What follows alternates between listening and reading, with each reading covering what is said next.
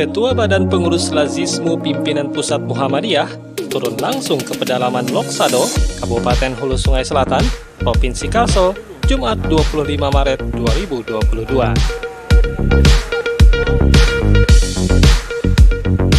Menjalani kawasan terjal yang hanya bisa diakses roda dua, rombongan menaiki pegunungan memasuki hutan lindung menuju Desa Kamawakan.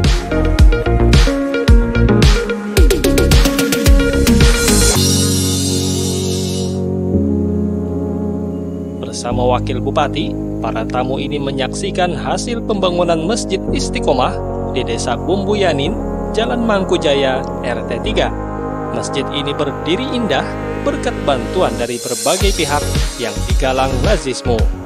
Dan alhamdulillah ini kita bisa lihat arsiteknya luar biasa kearifan lokal.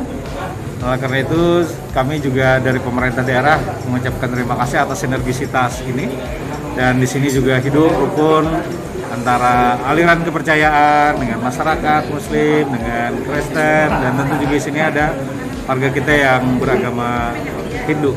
Oleh karena itu dengan adanya kebersamaan ini ini menunjukkan bahwa uh, hal yang sangat positif bagi sebuah perkembangan keberbedaan agama kebinekaan di Hulu Sungai Selatan. Sumbangan susulan datang dari pemerintah Kabupaten HSS guna bisa dimanfaatkan bagi pengadaan fasilitas penunjang lainnya.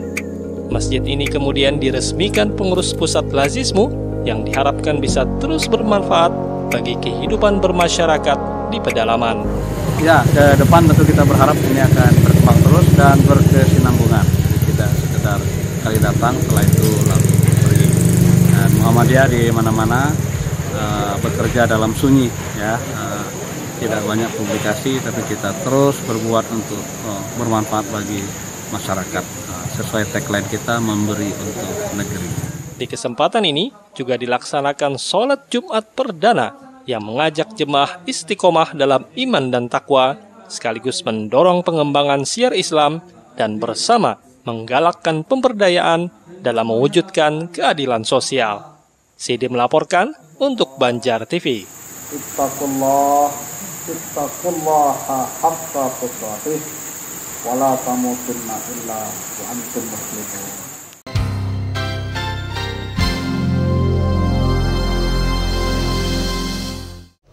Pemirsa, ikutin terus ya update berita Banjar TV dengan cara subscribe channel ini dan nyalakan notifikasinya.